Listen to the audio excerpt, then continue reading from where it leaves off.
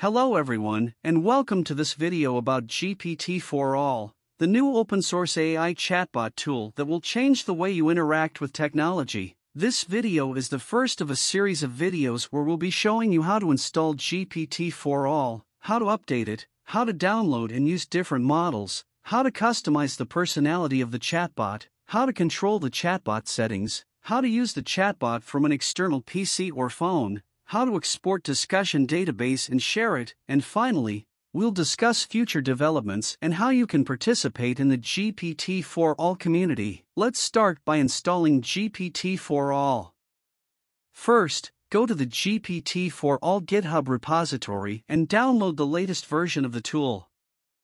If you have Git installed on your PC, it is advised to clone the repository, and if not, you can just download the zip file and extract it.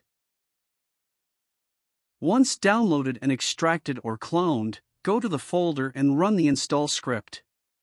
For Windows users, use install.bat, and for Linux or Mac OS users, run install.sh.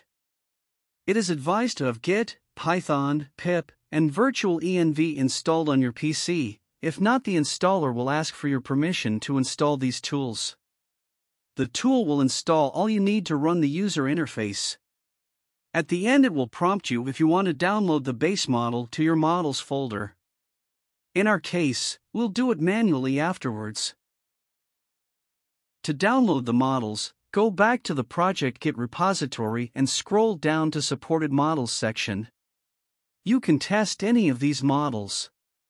The base one is on my Hugging Face space. To download it, just press GPT-4All 7b to start the download. Make sure you put the file in the models subfolder of the project. You can also visit my Hugging Face model space dedicated to this model. The model is released by Nomic AI with GPL 3.0 license. In the next video, I will show you how to use the web interface to get the most of your chatbot.